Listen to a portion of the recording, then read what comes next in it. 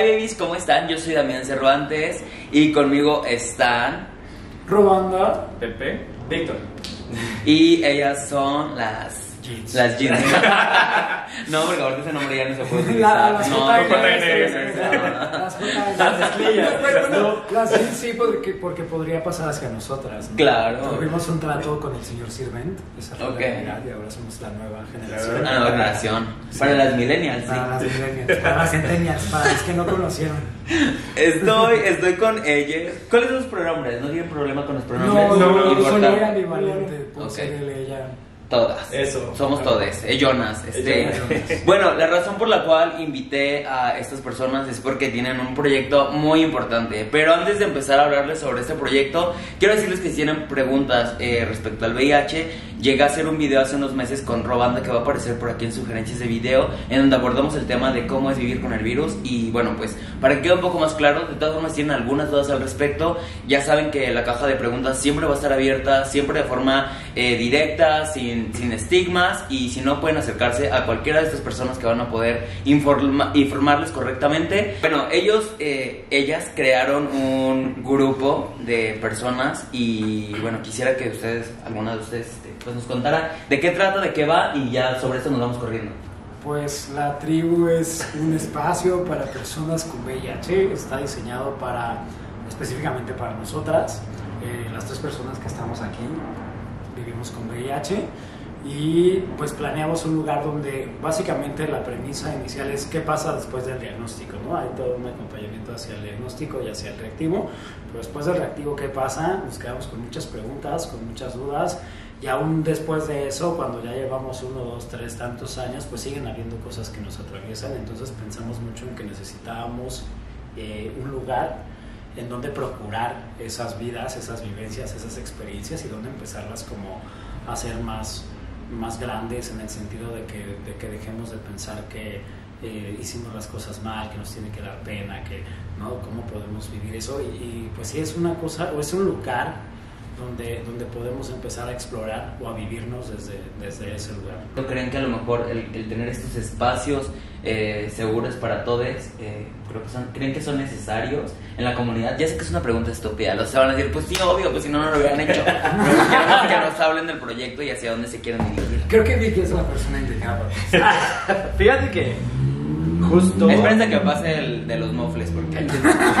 Sí, pues sí nos hemos sentido, ¿no? Y no, no es una pregunta tonta porque mucha gente nos dice, pero ¿por qué si nadie los está discriminando? Y, y no, no, sí pasa. Y todo el tiempo estamos con esos comentarios que aparecen en Twitter, en, en TikTok, en Instagram, en YouTube. Y, y digo, lo sabes, ¿no? La gente puede ser muy ignorante y desde esa ignorancia se siente como muy empoderada para opinar sobre cómo deberías tú vivir tu vida, que es algo que nos pasa mucho, ¿no? Y es algo con lo que a cada rato nos atacan, pues, ¿no? Nos acusan de, de ir esparciendo enfermedades, virus, ¿no? Y, y pues no funciona así. Entonces, de pronto este lugar surge como, pues sí, como un lugar donde nos guardamos de todos esos comentarios y hablamos de, de cosas lindas, ¿no? De cosas a veces no tan importantes o a veces cosas importantes como diagnósticos, medicamentos, pero también de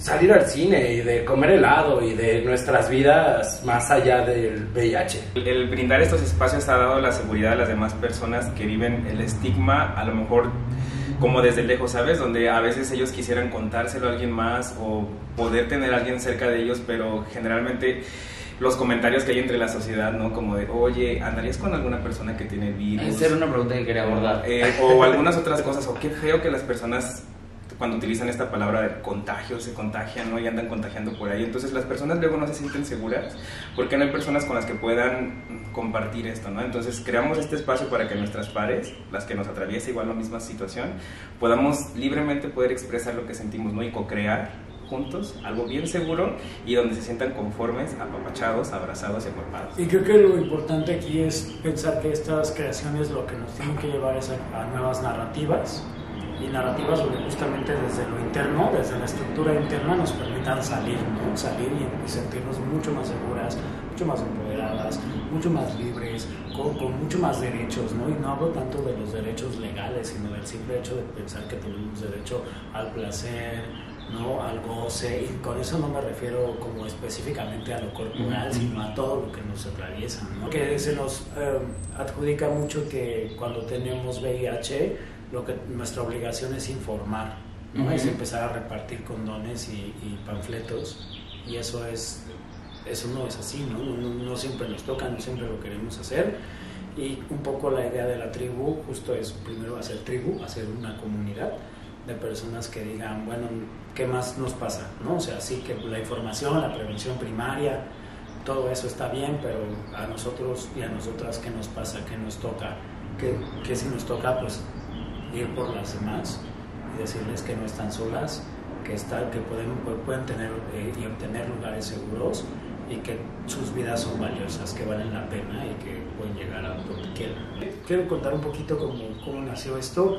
Eh, Vic eh, eh, empezó con un grupo dentro de Impulse eh, para personas con VIH. Impulse se dedica a prevención primaria digamos que era la única actividad o es la única actividad hasta la fecha que tenía que ver con eso. Y lo creció y tiene dos años con, con- tiene dos años con él y ahora es lo que es la tribu que nació, de hecho ahí nos conocimos, ¿no? Yo entré como par, Pepe era par, ¿no? ¿A qué se refieren con par? Que también somos personas que vivimos con VIH, estamos Ok. en, la- en el mismo canal, en el mismo Ok. camino. Y, a- y además algo que nos había tocado a las tres, al ser visibles, es que mucha gente nos busca por apoyo y está Claro. bien.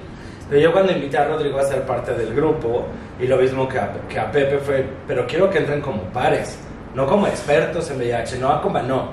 Ustedes también necesitan acompañamiento, ustedes también necesitan un grupo donde sentirse acogidos, donde sentirse arropados, donde puedan hablar de la mala experiencia de su primera cita, ¿no? Y no habrá segunda, pero este, por eso fue que los invité y que conocieran también lo que estaba pasando de este lado, porque hasta donde sé no es algo que esté pasando en muchos lugares.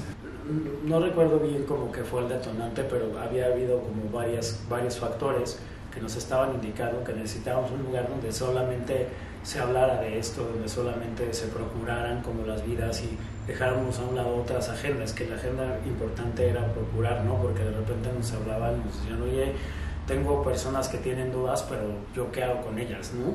En las mismas eh, clínicas de detección y esas cosas. Y pues dijimos, creo que este, este lugar es como importante, entonces diseñarlo desde ahí, o sea, que se empezara como a diseñar el, el, el espacio desde algo que ya existía y desde algo que de repente empieza como a, a, digamos, a, a, a cuerpar, a proteger, a, abrazar a las personas. Sobre todo porque fíjate que a veces perseguimos metas que nadie nos explica por qué las seguimos, ¿no? Por ejemplo, las metas médicas después del diagnóstico. Y entonces también nace esta necesidad de nosotros de saber qué pasa más allá del diagnóstico, qué pasa con las personas que ya a lo mejor tienen una buena adherencia, que ya cumplieron con todas las metas, pero que al final no encontraron la salud o el bienestar que buscaban, ¿no? Y entonces tratamos también de, de, de acuerpar esas partes, de, de enseñarles que hay algo más, ¿no? Que vivir de las metas médicas, del diagnóstico, y que pueden tener una vida como cualquier persona. Entonces, y eso es lo que buscamos también asegurar. Y yo quiero ser muy franco, se me olvidó cuál era la pregunta. Retomando, dice. ¿Qué opinan de estas preguntas de ¿andarías con una persona VIH positivo? Que, que aparentemente creo que es una pregunta que quiere generar inclusión, pero para mí es más excluyente. Entonces quisiera que me dieran su contexto y digo, la quiero retomar porque Sí. hace lo tocaste y era un tema importante. Yo creo que es la connotación que le dan, ¿no? O sea, a lo mejor tal vez quieran sonar incluyentes, pero tampoco los voy a defender porque no es el objetivo de esto. Pero creo que la manera en la que lo expresan no es nada incluyente, ¿sabes? Y yo creo que genera y aumenta más el estigma porque nos aparta más de la oportunidad de poder estar con alguien, ¿no? Porque esto genera que se alejen de la información, que aumenten la ignorancia y, y, pues que nos segreguen a nosotras, ¿no? Terminan siendo como estos casilleros donde la gente inserta todas sus respuestas xerofóbicas y entonces empieza, ¿no? Con el pues claro, porque, o, o empiezan a decir que no, porque es- estamos enfermos y empiezan, te, ves, te empiezas a ver las respuestas y son una bola de, de, de acusaciones, de tratarnos de hacer sentir mal, ¿no? A las personas que vivimos con VIH y pues no, no va por ahí, ¿no? Además ya es el 2022, ya, o sea, a lo mejor esa pregunta te la hubieran hecho en, el- en 1985 y dices, bueno, ¿no? Pero ya ni siquiera en los 90 y ahorita que, que haya gente que siga cuestionando eso, ¿no? Esto, estas cosas te van haciendo eh, darte cuenta que las narrativas tienen que empezar a cambiar y que nosotros de repente las que tenemos el discurso mucho más elaborado, que estamos cuestionándonos como muchas más cosas, si es un, no, no, sé si es un deber ser, pero sí es algo que puede ayudar a otras personas y es como está pensado un poco también el grupo, eh, que podamos ayudar a otras personas a que es la mejor manera de vivir con su VIH y de llevárselo chido con él sea eh, eh, elaborar ese discurso, ¿no? empezar a elaborar, empezar a politizar desde, la arista que quieran, ¿no? no necesariamente tienen que agarrar una, una pancarta y salir, y, ¿no? pero tiene, sí hay una cualidad de decir, de elaborarlo, de hacer un storytelling distinto, ¿no? porque justamente ahí lo que tenemos que empezar a cuestionarnos, y a lo mejor es muy wokista, pero me parece que es la forma o es el camino, pero es decir, bueno, ¿por qué, yo no, ¿por qué no me preguntan a mí si yo andaría con una persona sin VIH? Nosotros lo platicamos en los grupos y a veces sí decimos, oye, es que es bien difícil salir con negativas, ¿no? Como y, dices, es que las negativas, ah, ahora que te dijo tu novio negativo, ¿no? ¿Qué se le ocurrió que era padre decirte? Pero también por otro lado, y un poco apuntando a lo que te decía, me parece que hay que ser muy indulgentes porque creo que algo que estoy aprendiendo en este preciso momento de la vida es que, que sí, que no, hay, que, no hay que dar pases, estoy totalmente que los discursos de odio y, los discursos excluyentes y, fóbicos no, no, no, son para nada bienvenidos ni las opiniones sobre nuestras decisiones ni, ni de vida ni corporales ni de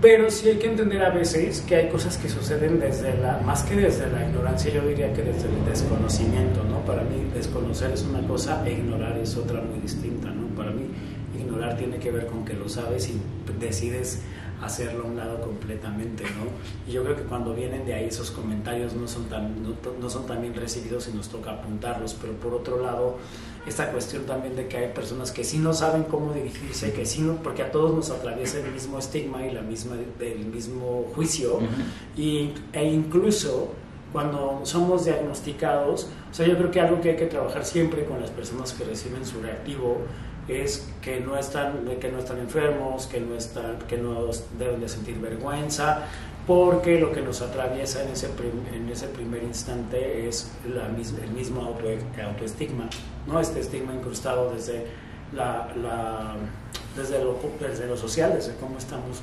diseñados, y eso es lo que se vuelve, eh, no, no, no sé si complicado, pero sí complejo. Entonces hay veces que sí nos debemos acercar a la gente que hace este tipo de preguntas, como de, oye, a ver, creo que esta pregunta a lo mejor no es tan adecuada, y a lo mejor, mira, y empezarle a explicar, y a, no explicar, sino a darle esta narrativa, decir, pero es que, a ver, yo, yo puedo elegir, ¿no? Un, lado es eso, y, el otro lado sí es atacar directamente, como cuando pasan estos discursos como el del Sideral, ¿no? Famoso episodio del Sidral. El famoso de la vida, obviamente. Entonces, Yo creo que va a haber gente que no lo va a entender. Este, no, todos, todos. Pero así no, no necesita prudente contextualizar para que la gente ubique. Hubo un, hubo un comentario en Twitter, y voy a dejar nombres afuera, no por prudente, sino por, para hacerlo más rápido. Pero hubo un comentario en Twitter sobre eh, una drag que decía que eh, le gustaba mucho Heartstoppers porque no morían de, de sidral al final. ¿no? Entonces, eh, por un lado, pues el comentario era meramente eh, sí, juicioso y por otro lado, yo lo voy a explicar como alguien lo dijo, solo las personas que nos ha dado sidral podemos decir la palabra sidral de esa manera, ¿no? Pero tiene un sentido. Sí, porque es una cosa que, que se nos ha dicho siempre de manera despectiva, ¿no? como estas otras palabras que hemos resignificado como en, las, en la comunidad LGBT, ¿no? Y, y, lo que hacemos es que al final de cuentas para hacerlo más pronto, cuando nos apropiamos de esas palabras, pues ya no nos ofenden tan fácilmente, ¿no? Entonces, y entonces enunciar algo así que a esa persona, viéndolo de manera indulgente, a, a ella le parecía gracioso, ¿no? Le parecía que era una manera a lo mejor hasta de suavizar su tweet, okay. ¿no? Pero entonces, por ejemplo, ahí como que todos corrimos un poco a primero decirle, oye, creo que estás haciendo esto, ¿no? Y cuando hubo esta negativa de decir, no, ¿por qué? Y no, no lo, no lo voy a aceptar y no lo quiero aprender. Y creo que hay algo, algo que importante que saber aquí es que cuando nos apuntamos algo, y, todos, eso va para todos, no, es- el decir, oye, yo creo que tu comentario es homofóbico o es transfóbico, eso no nos hace automáticamente transfóbicos, ni homofóbicos, ni Ujú. xerofóbicos. Ok. Porque puede venir desde el desconocimiento. Exactamente. Entonces, cuando yo digo eso, yo, yo te apunto a algo lo que nos toca, y eso sí nos toca como comunidad, yo creo. Y, y obviamente hablo de- del VIH como dentro de la comunidad, porque somos un grupo que se dedica totalmente a identidades masculinas este, con VIH. ¿no? dentro de, y, de- y diversas, básicamente. ¿No? Entonces, eh, nos toca desarticularnos estos discursos de, de- hasta de maneras como muy amables o muy, muy urgentes, Sutiles. insisto. Entre nosotros, en el- dentro del grupo. Apoyar, apoyar. Sí, Sí. decir, oye, eso es machista, oye, Sí. yo creo que esto podrías cambiarlo por esto, porque mira, si este discurso, ¿no? Porque nos toca, no, y porque no tiene que caer en una corrección selectiva, ¿no? Tiene que caer en una cosa donde, donde yo sí creo que la tribu, porque hablando específicamente de nosotras, yo sí creo que es un, y lo hemos hablado, es un espacio disidente donde nos estamos construyendo todas, ¿no? Por no caer en Además de que generamos un conocimiento comunitario que se va replicando y entonces entre todas nuestras pares pues también van haciendo esto, ¿no? Con las demás personas que los rodean. Y retomando lo que preguntabas de, de, de, de la pregunta si andarías con una persona con VIH, um, yo creo que también viene o, o es generadora de discursos donde pues no les compete hablar también de la vida de otros, ¿sabes? Muchas veces las personas que no tienen el virus o que no tienen esta vivencia generalmente hablan de nosotros o de las personas que tenemos esta vivencia sin respeto alguno, estigmatizando y generalizando algunas cosas, ¿no? Como que somos peligrosos para el mundo, que tal vez vamos por ahí contagiando enfermedades y demás, ¿no? Entonces, este tipo de, de- de discursos o de preguntas que a lo mejor pueden sonar incluyentes, realmente no lo son porque no tienen una connotación apropiada para dirigirse a nosotras con un respeto debido, Y ¿sabes? somos peligrosos, pero no porque estamos Ujú. transmitiendo. Queremos Tengo buen sacar- hocico, dice, tengo porque- buen hocico. Exacto, exacto, porque tenemos buen hocico, ¿no? bueno, yo creo que, bueno, nada más para retomar, porque, bueno, eh, amiga mía es la draga, la respeto su trabajo en general, no tiene nada que ver con esto, sabemos que No, no, claro. no viene desde un juicio de queremos atacarla porque es así. Creo que a veces a la, la gente distorsiona el mensaje, creo que aquí es importante señalar y Sí. decir, oye, creo que eso está mal por esto y esto y esto. Esperemos que la gente cambie para bien y tener un discurso positivo y evitar esta estigmatización. Sí, claro. Pero también es importante decir, también abre el tema para que alguien evite seguir replicando estos. Es que discursos. de- de hecho, de, de De eso se tratan los apuntes, Exacto. porque yo después cuando se desató todo, toda una cosa ahí fúrica en- durante días en Twitter, yo quiero ser siempre muy claro que las cosas no son, por eso igual omití el nombre, porque las cosas no son contra las personas, Exacto. son contra los discursos. Discursos, ajá. Y tenemos que ir con ellos y ver cómo a- aprendemos a desarticularlos, porque yo también seguramente he dicho burradas, ¿sabes? Y, y seguramente, por ejemplo, yo cuando me refería a mi VIH, sí decía que era, era portador de VIH, llegué a decir cosas así desde el desconocimiento, ¿no? Y, y un poco meterme a, a la política del bicho, pues me ha hecho un poco... ¿no? La política del bicho me encanta. Entonces me- me- me- yo creo que a partir de ahí he aprendido a renombrarlo, no tanto porque sea correcto o incorrecto, sino porque para mí lo es adecuado en mi contexto y en Exacto. el tiempo para que yo viva bien con él. Por eso si a las personas, cuando hacemos espacios comunitarios, a veces escuchamos personas que dicen palabras como contagio, me infecté, y que, y que de pronto ya en las narrativas politizadas pues no es tan adecuado, ¿no? Porque volvemos al estigma, pero también tiene que ser validado eh, que ellos Sí. y ellas se nombren así porque lo están empezando a vivir, Exacto. Ok. ¿no? Como cuando dicen, "Oye, es que me tengo eso, ¿no? Dio mi condición, y tenemos que buscar cómo lo, cómo lo eh, progresa. Sí, y, y además de buscar el progreso es que nosotros no vamos a darles una directriz, ¿sabes? Porque muchas veces estas personas no son escuchadas, no saben qué hacer con su VIH, no saben qué más sigue después del diagnóstico de todo lo que han dicho y por eso manejan este tipo de palabras, ¿no?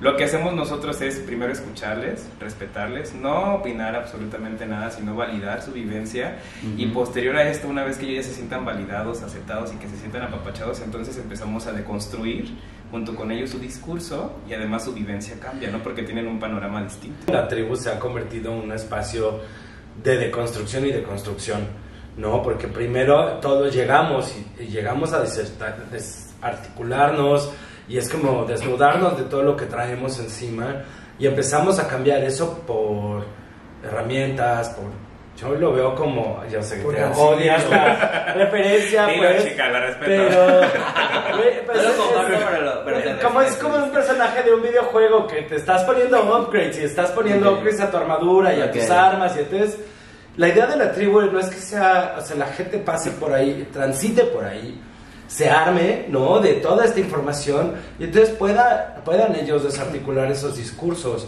justo, ellos solos. Son ¿no? herramientas. Exacto, ¿no? Y no, y Una escuela, la escuela de vida, Di. Una escuela de vida. el empezar a centralizar las vidas y no empezar y no justamente yo, yo llegué a un momento donde particularmente me cansé de, de dar entrevistas o de hablar y decir ah el VIH es esto y se transmite así y decía ¿por qué tengo que estar haciendo esto? ¿no? así mientras lo decía. ¿por qué tengo que estar haciendo esto? es como si esto fuera como mi paga ¿no? como Ujú. si le, yo le debiera al mundo esto Estabas cargando tu propia cruz. Ajá.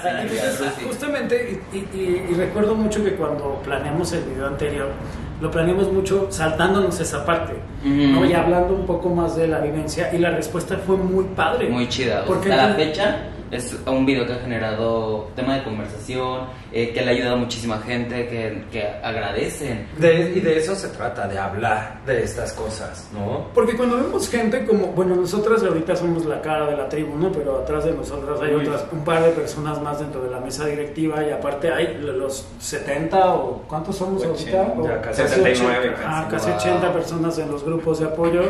Entonces, que somos estas personas que, que, que podemos vi- vivir de esta forma, ¿no? O sea, sabemos, y Víctor lo dice, sabemos que no todas las vidas son como las nuestras, pero queremos cambiar la narrativa del VIH, ¿no? Y, y queremos eh, también visibilizar a partir de eso desde las personas que abandonan su tratamiento o deciden no seguir su tratamiento o se detectan tardíamente y, y entran en fase de SIDA hasta las personas que son indetectables y tienen un montón de CD4. ¿no? Y entonces... Así para regalar. Ajá.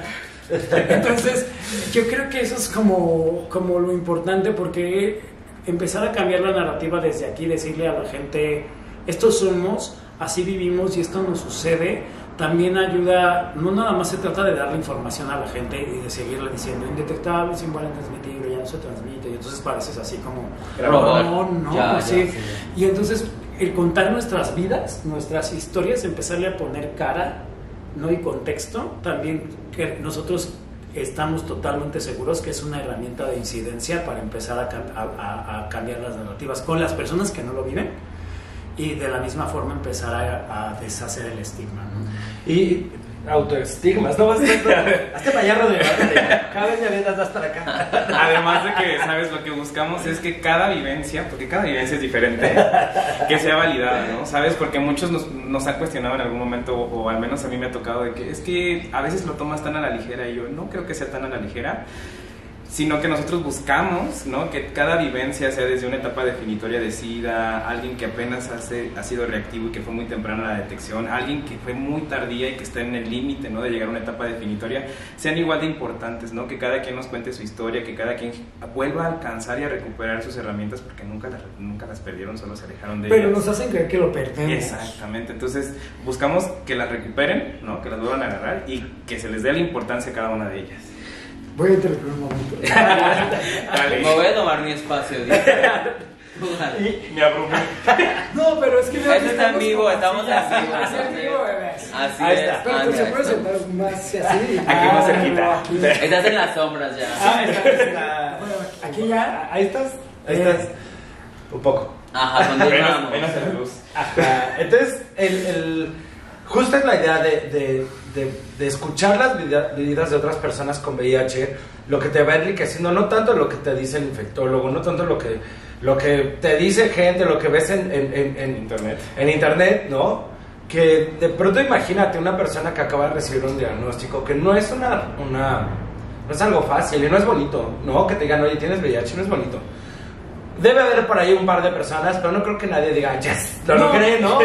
Ya, o sea, no es, no es fácil. Y, y imagínate, vas saliendo de tu diagnóstico y el primer tweet que ves es ese de, andarías con una persona con VIH. Ujú. Eso, Oh, qué bueno que no mueren de sidral. Y lo que dice Vic me parece puntual porque cuando te dan la noticia es como si te abrieran un huevo en la cabeza. No Con todo el estigma social. Te cae todo lo que te dijeron que era B. O sea, porque hay un estudio en, en Reino Unido que comprueba que el miedo de las personas a tener VIH ya no tiene nada que ver con si van a morir o no, sino tiene que ver con el estigma que van a recibir, ¿no?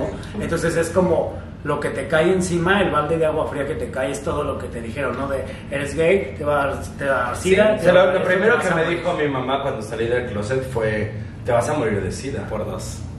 Entonces, es lo primero que te viene a la cabeza de verga. Mi mam- mamá tenía razón, ¿no? Lo que hacemos en la tribu justamente es tratar de desenredar esta bola de estambre que está toda enredada que te dan cuando te dan el diagnóstico. Aquí está tu bola de estambre y a ver qué haces con ella.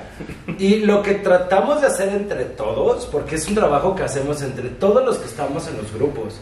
O sea, realmente lo que hacemos Pepe, Rodrigo y yo es observar mucho y estar como pendientes, ¿no? Pero los grupos se autogestionan, ¿no? Es, no es un lugar donde nosotros llevemos la batuta de las A ver, cosas. mis niñas, vamos a hacer esto. No, ellos No. solitos son autónomos. Ajá, y, y solo es como un poco estar pendientes de discursos machistas, de discursos xerofóbicos, que incluso nosotros los tenemos.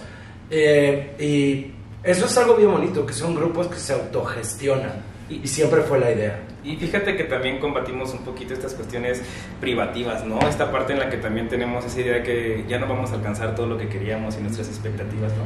Fíjate que tenemos un maratonista que acaba de correr el último medio maratón. Sí, triatlonista, ¿no? Y corrió el último maratón, bueno, el medio maratón de 21 kilómetros la semana pasada, ¿no? Entonces, generar ese tipo de cosas y romper también con el estigma y con estas partes negativas eh, o se me fue como privativas, hasta que ya no podemos hacer nada, realmente pues tampoco es cierto, ¿no? Y también tratamos de acuerpar en esa parte y decirles que claro que sí puedes recuperar tu vida, es más, tienes tu vida porque nunca la has perdido, ¿no? Simplemente es encaminarlos y, y hacer que recuperen esas herramientas y ese discurso tan bonito que antes teníamos con nuestras expectativas. Me da mucho coraje, ¿no? O sea, y no me da coraje por ellos, me da coraje por pensar que vivimos en esa sociedad que le dice a las personas, es que ya no vas a vivir, ¿no? O sea, un, un chavo que de así de, oye, ya no me voy a poder hacer así una chambrita y... Tengo que traer, No, traer suéter literal, ajá, no me voy a poder hacer una chambrita así de, ¿y eso qué tiene que ver? ¿Por qué no te la puedes hacer, no? Tú disfruta, o sea, arráncatela, ¿no? O sea, sí es como estas cosas que, que, que es bien inaudito, como si nos dicen que ya se acabó. Sí, ¿no? ¿sabes? Las personas que están a nuestro alrededor, bueno, en el caso de nosotros que somos visibles, generalmente hay personas que a lo mejor nos quieren y nos aprecian mucho, pero empiezan con estas partes de cuidarnos, ¿sabes? Y yo creo que a los únicos que le corresponde cuidarse son a nosotros, porque sí, chica, no voy a traer el suéter todo el tiempo, ¿no? Entonces, yo sé lo que tengo que hacer para, para cuidar mi salud, para cuidar mi bienestar, ¿no? Y muchas personas empiezan de, deberías traer tu suéter, o porque va a llover, ¿no? O cuídate mucho porque esas personas están estornudando y no te vayas a morir de una gripa. Entonces, esas Hay que cosas... saber que no es un real, ¿no? Ujú. que no que no funciona así. Pues eso es también muy, muy cierto. ¿Cómo, ¿Cómo entendemos que.? Es que también a veces es ahí donde justo hablar con más personas como nosotras codifica, ¿no? Y eso va a pasar en todo, no nada más pasa con las personas con VIH. Justamente lo que de- decía Víctor de los grupos es, es importante porque parece que es una... Yo, yo lo, lo he elaborado conmigo últimamente y decimos que es una acción muy silenciosa lo que hacemos, ¿no? Porque parece que no estamos haciendo nada. Y de repente al decir, bueno, pues tenemos grupos de WhatsApp y decir, ah, pues sí, qué padre, ¿no? Yo también tengo uno con la familia, uno con el trabajo. Pero de repente estos grupos de WhatsApp, en, en la autogestión que dice Víctor, lo que hace es que se entraman las vivencias. Y ese entramaje que se hace, sí genera otras cosas y se preguntan cosas. Oigan, ¿ustedes han sentido esto? Oigan, ¿ustedes les da comezón esto? ¿Les pasa esto cuando toman la pastilla? Ujú. Y de eso es de lo que se trata, porque encontrar más gente como nosotras en el mundo siempre va a ser un avistamiento abismal, grande, es muy grande, parece una acción muy pequeña, pero encontrarnos es una acción gigante. Y, y de pronto tener eh, estos momentos en los que empezamos a filosofar un poco sobre el VIH, ¿no? Y, y a hablar como de cosas más existenciales y menos materiales sobre nuestras vidas con VIH y de, de nuestras experiencias y, y más allá de, de- Porque sí te puedo decir que son grupos diversos en todos los sentidos, ¿no? O sea, hay personas de toda la República, el coche, hay personas La de... gran micro, así. Viejo y ya, cerramos bien. Hay personas de toda la República, hay personas eh, No binarias. no binarias, ¿no? Hay personas ah, de, de- de- de muchos como pasados, ¿no? Y no necesariamente somos los iguales todos. Y eso es lo que enriquece muchísimo el grupo, ¿no? Porque no todos tienen la misma experiencia de ir a la clínica. Porque algunos sí tienen que trasladarse dos horas para ir a, su- recoger su medicamento, ¿no? No, no como me acusan a mí de ser de las privilegiadas de Iztapalapa, de la clínica de Iztapalapa, porque sí nos tratan muy bonito. La neta es que tenemos estudios y tenemos protocolos y estudios de esto y de aquello. Aunque te eh. preguntan a qué vas en la puerta y a mí me parece Porque no te conocían, por eso. Ah, Todos así. Viene por su, viene por su. Ah, vienes por tu prueba de sífilis. Ah, yo. Porque nos dicen eso en la calle. Pero fíjate que, y, y creo que eso viene del, del, del desconocimiento, porque me queda claro que el- lo que está tratando de hacer el, el, el policía vigilante de letrada es ser de ayudarte y dirigirte. Ah, sí, ¿A dónde Bueno, no? eso les toca ya, pero aquí a mí en el otro instituto me toca. ¿Alguien más viene a Clincida? ¿A dónde? A A la clínica de SIDA. Pero eso, eso es un problema de los estados en general, ¿no? Porque, por ejemplo, no, eso no, lo pla- no se habla mucho, pero, por ejemplo, el Capacites de Aguascalientes tenía un gran problema por eso, porque sacaban a, a- a las personas así a hacer fila igual, ¿no? Y era claro, los idosos aquí. O sea, y la gente los mencionaba así, ¿no? De manera despectiva. Y es, por ejemplo, igual hay gente que incluso le da nervios, a lo mejor ya hablan, no hablando tanto de los tratamientos, pero hay gente que le da nervios irse a hacer una prueba con esa porque Sí. ahora los forman afuera, ¿no? Y es como, ay, pues no, ya saben que me vine a hacer una prueba, ¿no? Y, y, y además está esta otra parte, ¿no? De gente que le saca fotos a personas dentro de la clínica y las publica, O los acosan. ¿no? De, ah, ya miren quién vi en la clínica de VIH, ¿no? Y es como, ¿Eso cuenta como delito? sí, Sí. además. Cuenta como delito y como una bajeza. Una corriente. Es como una acción muy baja porque justamente lo que tenemos que empezar es que es ahí donde nos damos cuenta que sí seguimos siendo castigados, ¿sabes? Que sí seguimos siendo perseguidos, que sí seguimos en la opresión, que sí hay una cuestión en donde cuando dicen, no, pero ya no les pasa nada, ¿no? Y yo, pues, ¿dónde? Cuéntame, ¿dónde no nos pasa nada?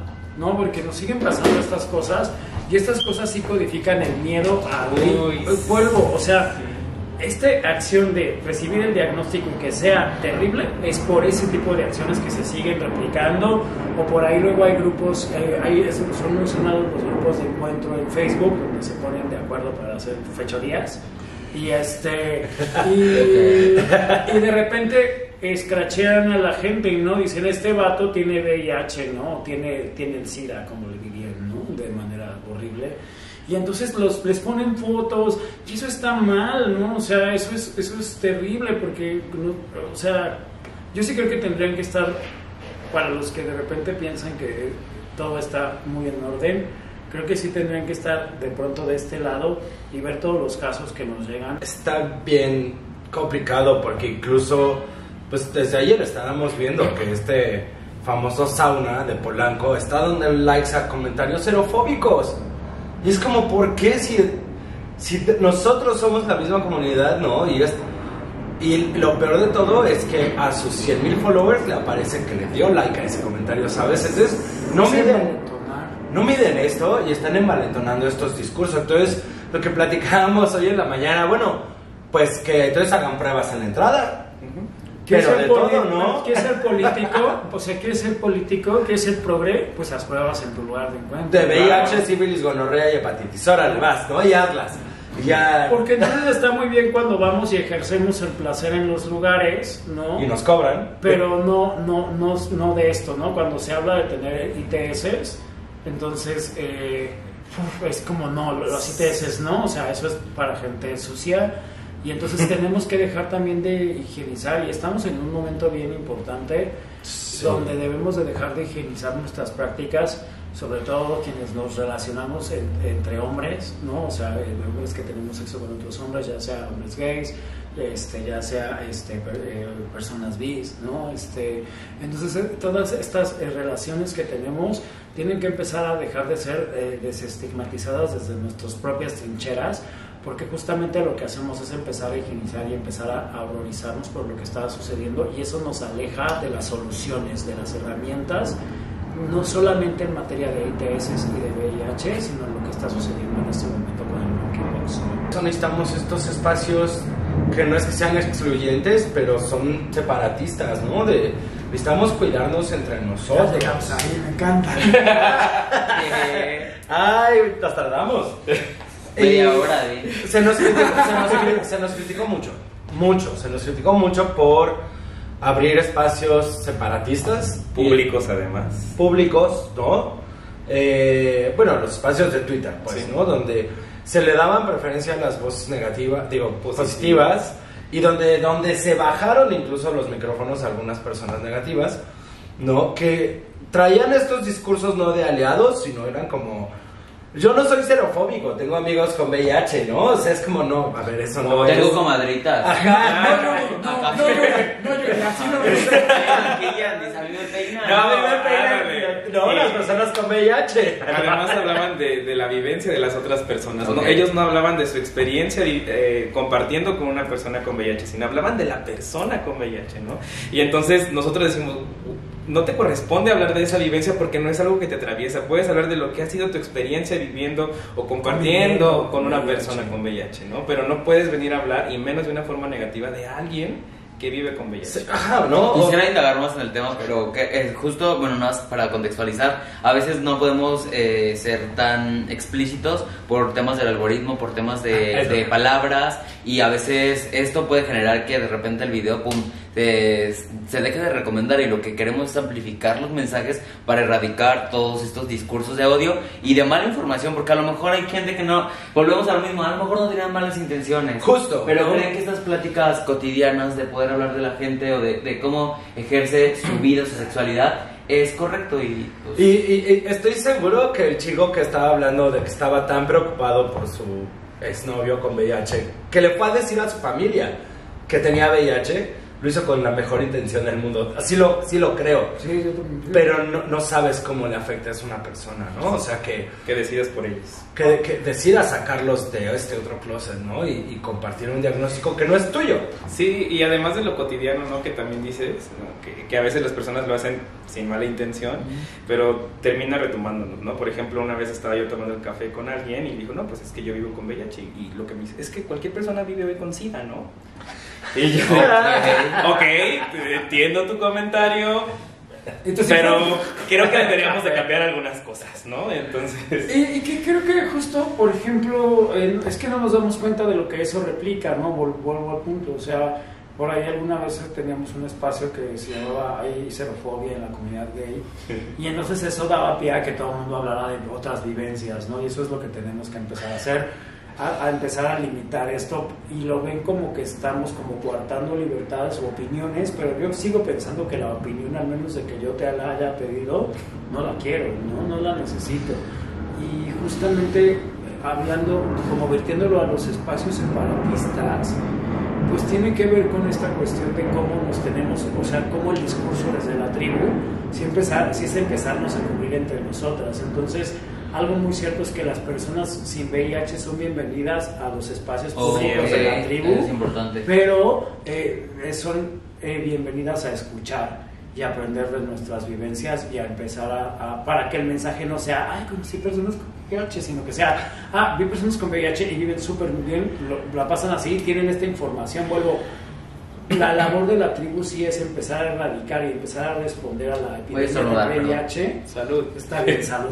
No, ya se fue. Ya se fue. Ya se fue. Como el Ya se fue. empezar, a, a empezar a erradicar esto, pero desde, desde las vivencias, ¿no? Las personas negativas nos acusan de exagerar, ¿no? De llevar las, o sea, nuestros discursos y enojos y, y molestias sobre, sobre cómo se habla del VIH, ¿no? Y que estamos exagerando, pero luego cuando entras a los espacios y empiezas a escuchar las vivencias de tantas personas de que no la pasaron bien, ¿no? Y hay algunas que sí, ¿no? Y dicen, no, pues mi historia no, es tan, no, es, no, no, no fue tan triste, pero personas que perdieron la vista, personas que, que las corrieron de su casa, personas que les terminaron su relación, personas que las corren de un trabajo. Que los boletinaron en su trabajo. Y entonces, no, a ver, no, las cosas no están bien.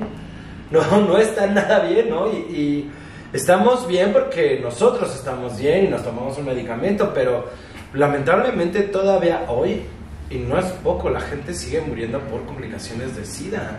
Y ya no tendría por qué pasar eso, ¿no? Pero no van a hacerse la prueba porque les da pena, nos da vergüenza, ¿no? Y no nos da... Y no queremos empezar el tratamiento por lo mismo, porque Sí. nos da vergüenza. Yo creo que algo, hay algo muy triste dentro de eso, ¿sabes? Y que nos invita, yo invitaría a reflexionar al mundo. Ha habido muchas personas que hemos recibido como muchos comentarios negativos, ¿no? Y viene también esta parte donde les toca vivir esto, ¿no? Y entonces dicen, diablos, ya lo entiendo. Y creo que eso ha sido también un golpe, digo, en lo particular para mí, de recibir personas que han estado desde aquel lado donde nos agreden y vengan y sabes que lo entiendo, discúlpame y ahora me toca a mí vivir esto. de tomarte la pastilla, pues justamente tiene que ser algo que hagamos por nosotras. Nosotros no le debemos nuestra salud a nadie, no le debemos nuestra indetectabilidad a nadie. Es por nosotras y porque nosotras queremos, pero no es para que me consideres menos riesgoso ni para que me consideres menos tóxico, menos peligroso. No es, no es para cuidar a los demás. No, es para No, nosotros. es, es por, por cuidarnos nosotros, ¿no? Porque es bueno para mí. Por eso decido tomar el medicamento. No es. Todo lo demás puede ser una consecuencia, si quieres, de que yo decido tomar el medicamento y estar bien yo. Pero es un poco lo que tratamos de meterles en, de meternos entre todos en la cabeza a los grupos, ¿no? De, porque sí llegamos muy con este rollo de culpas y de, de, de, de autoseñalarse, ¿no? Es lo que me merezco, es mi culpa. Yo voy a subir el rating aquí diciendo que no somos responsables de las vidas de las Sí. demás personas. No somos responsables de la Yo vida aquí de voy a nadie. Fíjate que iba para allá, iba para allá, porque fíjate que hemos defendido en algunos espacios, por ejemplo en Twitter, a otras vivencias cuando se hablan de ellas, y vienen y nos, nos quieren voltear la tortilla y nos dicen como, güey, es que no deberías de tomártelo personal porque ni siquiera es tu vida de la que estamos hablando. Claro que me lo voy a tomar personal porque es de un bar, y es algo que no te compete a ti hablar, y, y estás agrediendo y estás reforzando el estigma, ¿no? Y siempre que encontremos algo así, tenganlo bien seguro que los vamos a callar, ¿no? Mientras se sigan hablando de alguien más, que sea un par de nosotras. Es que más que salvar eh, o, o- o callar, al final es salvar vidas. Porque deja tú el discurso, deja tú el debate. Sea, no sabes en quién esté repercutiendo un, un espacio. No o sea, te, pon tú 40 personas y si esas- de esas 40 personas, unas se encuentran en depresión, con crisis de ansiedad, eh, sin tratamiento, en, un- en una etapa crítica de salud, puta, pues ya le, ya le diste en la torre. ¿Sí? Es que eso es lo difícil, no se trata de que a lo mejor ellas son muy empoderadas, tienen un gran discurso y, le puede, y pueden debatir y argumentar algo que puede generar esta in- incendio en redes sociales. Pero creo que el, el no pensar en dónde repercute eh, un discurso de odio y sin saber quién te está escuchando es Esto es la rudísimo. incidencia, entender que no todas somos nosotras. Una vivencia no representa a las demás, ¿sabes? Entonces por eso le damos la importancia a cada una. Que Hasta aquí vamos a cortar el tema referente a esto, si no nos vamos a aventar seis horas. Ah, Esto se va a convertir en una transmisión de 24 horas. Ah, ya ponlo en vivo. Vámonos. Pero bueno, yo es no que este chingues, tema que es quiero hablar. Adelante, adelante. ¿Qué actividades vienen para la tribu? ¿Quién se puede integrar? ¿Cómo se pueden integrar? Es que son muchas cosas que tenemos que abordar y si no, miren. A ver, ¿quién, cómo se pueden integrar? ok, Sí. ¿quién? Las personas que viven con VIH estamos enfocados en todos los hombres de la diversidad, ¿vale? ¿Cómo nos Mujeres trans, no. pueden- em, Es importante. No, no, porque no, están, no nos atraviesa, no estamos capacitados para ello. Hombres trans, sí, porque se identifican con, con esta parte Personas masculina. no binarias. sí, Este, sin embargo, digo, pueden llegar a contactarnos y con gusto podemos referirlos a un área de atención que vaya acorde a sus necesidades. Eso sí, Eso es no vamos a negar la atención a nadie, estamos abiertos a recibir los contactos y cuando algo no esté dentro de nuestras posibilidades, obviamente lo referimos con otros pares que se dedican a lo que ellos necesitan. Nos localizan en nuestra red, principalmente en Twitter, arroba somos bajo la, Somos yo sí, bajo la tribu. Aquí a la se no va a aparecer, nada más en, en Twitter, en cualquier espacio que se pueda, se va a aparecer. Gente de, de- de cualquier país que hable español es bienvenida. Si hemos encontrado que las vivencias no son tan similares y luego pueden sentirse no tan... Sí, es Eh, que el, el contexto. incluidos. Sí, el contexto tiene muchas variables, ¿no? Claro. Y entonces diferencia Pero mucho, pero pues. Todos son bienvenidos. bienvenidos. todos. Creo que México en ese sentido es un país pionero. Bueno, creo, yo no sé si ustedes me desmentirán. En, es que- en muchos temas de diversidad, yo sí, porque Sí, me lo sí, dicen mis suscriptores. No, o sea, ahora que estamos viendo las noticias, por ejemplo, de Colombia, de Perú, y luego cuando nos ponemos a revisar los mensajes más xerofóbicos que recibimos son de, de otros países, pues, ¿no? Y es como, ¿qué pasa ahí? ¿Por Porque qué? a ¿Por nivel algo que a mí se me ha apuntado mucho desde, desde los activismos es que tenemos discursos como mucho más elaborados. Es que la mexicana se cuestiona. Mucha, mucha mexicana es de esas de que dice, pero ¿por qué no? Pero ¿por qué? A ver, pero. Ah, a ver, a ver, pero- a ver, está bien. Le, rega- Ah, pero- le regateamos el concepto. Y no nos dejamos. Sí te escucho, sí entiendo lo que dijiste, las palabras quizás te las entendí, pero explícame. ¿Qué actividades eh, van a realizar? ¿Qué procede? O sea, ok, eso es importante hablar. sí, por eso. Sí, su lugar. Y yo así de, "Esa es mi área. Este, uy, vienen cosas bien padres. Este, bueno, primero, aparte, eh, creo que es importante eh, entender que eh, primero es que puedan seguirse integrando a, a los grupos de acompañamiento o a los, a los grupos de pares más bien. O que pueden pedir simplemente un, Un acompañamiento. acompañamiento. como muy simple por alguna duda. Eh, estamos capacitando una- Ay, sí, una, hay eh, cosas bien bonitas. un- Tenemos un grupo dentro de nuestro grupo de personas que ya tienen más años y que han trabajado y han generado más recursos emocionales. Y entonces decidimos hacer un pequeño grupo de acompañantes, prepararlos con muchas herramientas para que ellos puedan soportar y dar esta contención emocional a alguien que lo necesite, que esté en una situación crítica emocional Ok. después de recibir su diagnóstico y además acompañarles, aclararles dudas sobre sus trámites. Momento. Ajá. Entonces, pues estamos haciendo cosas bien padres dentro de la tribu. A lo mejor no todos están aquí, pero pues ahí estamos. No, digo, o sea, a ver, Pe- Pepe es psicólogo y está estudiando enfermería. Rodrigo, pues es director de teatro y ha hecho coproductor. Y yo soy bonito. Están muy Todas somos preparadas. Preparado. Sí. No, no, todos, la es que sí, sí es algo que, que sí le dedicamos tiempo y, y dedicamos tiempo a prepararnos, no estar nomás de... Si estamos informadas, chica. Y, Chacoteando y justo- sí chacoteamos mucho, que es parte de, pero esto está bien padre porque la misma gente que se ha integrado al- al- a los grupos de, al jueves de tejido, de Impulse y a la tribu, ahora como la tribu, Explícanos qué es el jueves de tejido. Es, es así es como iniciamos, que era el, el- el grupo para personas con VIH, un grupo de apoyo que surgió desde Impulse, que sigue, ¿no? Pero ya no podíamos tener a más personas ahí, entonces fue el que creció, ¿no? Y empezamos ya a trabajar desde la tribu. ¿Y por qué. Espacio virtual. Virtual. Virtuales. Ah, eso es importante. Hace rato eso. Todo ahorita es virtual. Pueden mandarme un mensaje vía Twitter para ya sea tener un servicio de acompañamiento o de contención o integrarse a los grupos de pares donde nos juntamos cada 15 días en línea vía Zoom Los jueves. y los jueves de cada 15 días. Y este, en, esas, en este mismo, ahí tenemos el grupo de WhatsApp que está como eh, en conjunto con, con las sesiones de Zoom. Ya esa sirve para estar socializando mientras no nos vemos. Este, y este, esto lo puede pedir cualquier persona. Es, es importante saber que pueden hacerlo desde personas que acaban de recibir un diagnóstico y no saben qué carajos hacer.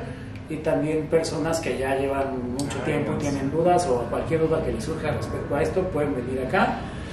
Y algo que, me, que quería resaltar hace rato era que eh, eh, la tribu está también diseñada para no seguir siendo invisibilizadas después de nuestros diagnósticos reactivos, ¿no? Mencionar ahí que el hecho de que no sigamos siendo invisibilizadas no quiere decir que los demás tengan que ser visibles, ¿no? Resguardamos la confidencialidad de todos, no es obligación ser visi- y- visibles para todos y entonces siempre van a estar protegidos, ¿eh? no es obligación Y- y tampoco se Sí, les pide y- serlo. Y, y- y una disculpa porque sabemos que lo- el proceso es largo en el sentido de que recibimos los mensajes de, de Twitter, eh, se les asigna a alguien que los acompañe y después de ese acompañamiento es como, bueno, ¿quieres formar parte de los grupos de Zoom? Porque sí necesitamos saber en qué estado emocional está la persona, en qué, ¿no? Si realmente se va a sentir a gusto. La idea es, es que podamos tener otro grupo más, ¿no? Y poco a poco ir como expandiendo esto y haciendo celulitas, ¿no? Que es, que es un poco la idea que siga, es generar comunidad, ¿sabes? Y, y- y crearla donde no había y, y abrazarnos entre nosotras y darnos la mano y sí, ¿no? De pronto estar contentas, pero también a veces estar enojadas y furiosas con el mundo y así. Ándale, ven. Y que las chicas y chicos y chicas que, que forman parte del grupo que están en otros estados también puedan empezar a replicar este, este formato en otros lados, ¿no? Eso también es importante para, para nosotras.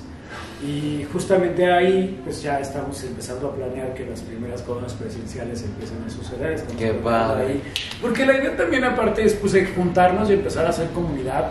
Víctor dice, hace un ejemplo que me encanta, que cuando llega alguien nuevo les dice, le dicen a Vic, oye, no conozco a nadie con VIH, pues ahorita te presento a tantas Ahorita te presento a 80. que eso lo vamos como salvaguardando y eso es bien valioso, ¿no? Porque yo insisto que parece que, que no estamos haciendo nada entre todas, ¿no? Pero estamos haciendo muchas Estamos cosas por, por todas, no todas por todas, porque yo algo que decíamos el jueves en una de las capacitaciones era de esto no es altruismo, No. esto no es por buena onda, es porque nos ayuda a nosotras.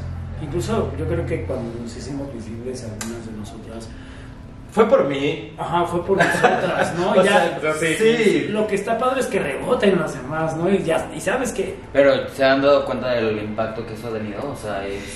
Sí, mira, fíjate, es que tiene impacto de muchos lados, ¿no? Porque muchos piensan, ay, sí, míralos bien, bien valientes, este, teniendo la visibilidad y todo, pero pues también nos vulneró en algún momento, ¿no? Nuestra visibilidad. A mí sí me hizo caer hasta el fondo y volverme a empoderar y levantarme, ¿no? Entonces, la visibilidad es una herramienta muy importante y política para nosotros porque ayudamos también a las personas a darse cuenta, ¿no? Que, que pueden hacer más, que pueden lograr lo que siempre nos juraron que no íbamos a alcanzar y muchas cosas más. Y es, es algo muy personal. De pronto, si, al menos desde mí, yo sí empecé a sentir como esta necesidad de, de hacer algo, ¿no? De, de cuando empezaba a leer y todos estos mensajes, tweets y esto, ¿no? Y el chico que quemaron vivo en Cancún porque dijo su su de VIH, ¿no? Es, es como, ya no puede pasar eso. Y si yo puedo evitar o darle las herramientas a alguien para que se proteja por lo menos un poquito y luego acuerpemos si es necesario, pues sí lo vamos a hacer, ¿no? Y, y sí salió, sí sale de ahí y, y la verdad es que sí estamos como bien contentos, pero tampoco creo que nos gusta pensar como, ah, que tanto está llegando, No, ¿no? eh, pero mediáticamente ha sido bastante, bastante prodigioso, ¿no? O sea, porque nos damos cuenta de la necesidad que sí está cubriendo y yo creo que ahí sí vale la pena decir que sí nos, da, sí nos dimos cuenta desde que se nos ocurrió esto que, que, que sí que habíamos encontrado un diferenciador, Sí. ¿no? Que si bien sabemos que hay otras personas es importante no centralizar las luchas, ¿no? Exacto. Y sabemos que hay una line Pinson repartiendo medicamento y canalizando gente, y está la red de jóvenes, ¿no? Y está este, eh, Salud Positiva ya, que también da acompañamiento, sí, y hay, otro, y hay otras mucho. instancias, ¿no? Sí, sí. Está Inspira también, ¿no? Creando otras narrativas. Eh, pero de repente nosotros nos dimos cuenta que necesitábamos crear más espacios de estos porque esta, había un, un espacio que no se estaba como dando abasto, ¿no? Porque si bien hay grupos en todas esas instancias, no hay lo suficientes, ¿no? Y necesitamos, por eso dijimos, solo vamos a hacer estas tres cosas, Sí. ¿no? El menú es cortito, solo son estas tres cosas. Necesitamos ahorita a captar a esa gente y cuando empezamos a hablar así de, de esto, fue como, claro, yo quiero dónde hay, ¿no? ¿Cómo me integro? ¿Cómo llego? ¿No? ¿Cómo? Y por eso un poco de ahí empezamos como a agilizar las cosas. Todo, también un poco surgió de que como que nuestro primer contingente chiquito que hicimos en, en la marcha eh, causó mucha reacción, ¿no? Y entonces decir, bueno, ya es oficial, ¿no? Porque aparte nos subimos a hablar valientemente al Zócalo, los tres ya en la tribu. Gracias. Y entonces también eso, ¿no? Ese mensaje empezó a crear también reacciones y eso también ha hecho que, por ejemplo, eh, coberturas que hemos tenido han sido como súper orgánicas ya, ¿no? O sea, y lo que necesitamos más allá de, de decir, ay, pues sí, estamos en, en las revistas o en los periódicos o en videos en YouTube, es que esto, que lo que estamos diciendo llegue a más personas, que yo siempre he dicho, y lo decíamos en el video pasado, que si alguien dice vivo con VIH no sé qué hacer, llegue a este contenido Vete para acá. y pueda, puede ir a lugares más seguros que un artículo de clickbait, ¿no? O sea, entonces eso es, eso, eso es, también es una, es una parte, es un objetivo. Y digo, ya si vamos a aprovechar el clickbait, pues, pues queda para informar. Sí, por perdida. o sea. Y, y justo ahí es donde eh, nos hemos dado cuenta de esta necesidad. Esta necesidad ahora ya está empezando a hacer también de que nos empezamos, empezamos a juntar más, de que empezamos a socializar más, de que seamos un montón de personas con VIH viéndonos entre nosotras, hablando entre nosotras. Eh, participamos en un encuentro con, con en Inspira, eh, vi que estaba como participante y yo estaba como medio. Pero algo que a mí me, me quedó muy claro es que sí necesitamos más espacios de eso, donde de repente estemos nosotras haciendo chistes, haciendo cosas que solo nos codifican a nosotras, que solo nos pertenecen a nosotras. Y algo interesante que se surge ahí es esta cuestión de los espacios separatistas, de, de que no es, de- no es una cuestión de, de discriminar a los demás, sino simplemente hay una cuestión de que estos espacios nunca los habíamos tenido y los tenemos que empezar a apropiar y los tenemos que empezar a hacer nuestros y, te- y tienen que empezar a, a tener esta- estas formas y, y claro que pueden ser aliados pero pueden ser aliados re- resguardando el espacio Eso. no invadiéndolo que es lo que hemos vivido ahora la comunidad LGBT con los bares por ejemplo no Justo. entonces, es- esa es la importancia de salvaguardar espacios. Lo mismo leamos un texto o, o veamos una peli o- y luego echemos chisme y O comamos. hagamos un picnic con vida. No, entonces. No, no y hablando también de que empezamos a usar las redes como una herramienta distinta a solo tirarnos hate y a solo pelearnos. Hay que empezar a cambiar vuelvo, ¿no? Y, y esas son las cosas que, que estamos empezando a planear. Y de ahí un poco también queremos, hemos estado hablando de comunicaciones ah, que empiecen a decirle a la gente, puedes hacer todo lo que te dijeron que no podías hacer. Y de ahí nos vamos a ir hacia el Día Mundial del SIDA, este, que es en diciembre, que Ya ya, estamos tenemos planeando también par de algo. actividades ahí, que estén muy pendientes a las redes, es arroba somos Y bajo todo el mundo va a estar invitado a ese evento. Sí. Y, y- y están invitados justo a cuerpar, a abrazar sus vivencias o las vivencias de las personas que vivimos con VIH. Sí, necesitamos como primero volvernos a construir entre nosotras como comunidad de, de, de identidades masculinas con VIH. Ay, creo que finalmente lo dijimos. ¿eh? Lo encontrábamos. el- Y, y luego podemos empezar a convivir con los demás, pero primero necesitamos arreglar la casa, ¿sabes? Y, y esta es nuestra casa. Y hacer las paces, ¿no? Yo por ahí Sí. hablo mucho de hay que hacer las paces como comunidad LGBTI, como comunidad de hombres gays y de hombres diversos. LGBTIQ más. Pero... Y, y aprender a tener una relación con nuestro VIH. Sí, ¿no? Una- pero una también hacer las, la- las paces con el VIH en general, ¿no? Sí. Porque es como, es que no ligan a la comunidad con esto. Es que, no, sí, tenemos que hacerlo. Eh, O Porque sea, así es parte de, de nuestra cultura. voy a decir algo que aprendí ahora gracias a la viruela cínica. Médicamente le puede dar a cualquiera, estadísticamente nos da a nosotras. Y nos tenemos que cuidar entre nosotras. Y la respuesta inicial fue entre nosotras. Y es lo mismo que está pasando ahorita. Y entonces así tiene que ser. Ni modo, está, está horrible, sí. tenemos que empezar a hablar de las cosas como son, Ujú. Sí. ¿no? Porque justo en, en es- en esta, de pronto nos perdimos, perdimos la conversación, el hilo de la conversación y no, es- no estamos diciendo las cosas que tenemos que decir como esta, ¿no? Sí, sí le puede dar a cualquier persona, sí, pero estadísticamente somos más propensos por cómo hacemos las cosas. Al final te sientes abrazado, ¿no? Te sientes acompañado porque eso- llegamos a pensar en algún momento cuando tenemos nuestra prueba reactiva que realmente nos vamos a alejar de todo, ¿no? Y saber que hay alguien más que vive lo que tú vives o que vivió lo que tú viviste y que va a estar ahí para alentarte y decirte todo lo que hizo para poder estar bien, pues se siente chido, ¿no? Que estén ahí, que te dé alguien la mano. En todos lados estoy como, hay monstruo, hay griega, monstruo. Arroba Josecín con S, 4400 guion bajo. Con número y todo. Cámbiala. Ya le voy a cambiar una más simple. Ay, ya después va a estar aquí para siempre. Y yo estoy como Robanda en todos lados, me pueden y ahí está. Y la cuenta de la tribu. Somos guion bajo la tribu. Somos guion bajo la tribu. ¿Dónde? Solo Twitter. estamos ahorita en Twitter, Twitter. eh, porque queremos como enfocar que esfuerzos abrir. Instagram ya antes de que este video salga. Aunque nada más exista. Ya, sí, sí. estamos en Sí, eso. estamos en Sí, eso. Lo que pasa es que estamos tratando de darle algo bien específico, volvernos bien expertos en un medio de comunicación para poder ampliarnos a nosotros. Y porque está haciendo nuestro caption ahí, ¿no? Sí. O sea, Bueno, este, cualquier cosa. Lo vamos a algo, vez. Pero ya ábranla, de verdad. Sí, sí. Aquí yo las comprometo. Que la abran. Hoy- en la- la tarde queda. Hoy Hoy en la tarde. Eduardo, no me hagas caso. Pues solo recordarnos eso, que, no es, que si vives con VIH eh, no estás solo, sola, sole y que, y que juntas, juntas somos más fuertes, ¿no? Yo creo que sí, Sí. es bien importante esta capacidad que tenemos. Son, lo- los, los seres humanos somos las únicas personas que tenemos esta capacidad de, de tribalizar las cosas, de hacernos como desde esta cuestión de la tribu y empezar a crear códigos. Entonces, pueden servir para cosas muy malas, como algunas familias, pero pueden servir cosas, para cosas muy buenas, ¿no? Entonces eso también, esa, esa es nuestra misión y, y no vamos a parar. ¿no? No vamos a parar, chica. Listo. Pues ya están. Nos vemos en la siguiente y les damos un fuerte abrazo, un beso. Cuídense mucho y adiós. Bye. Bye.